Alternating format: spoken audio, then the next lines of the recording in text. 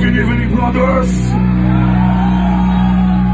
For the very first time, we're fucking here. We are Christian.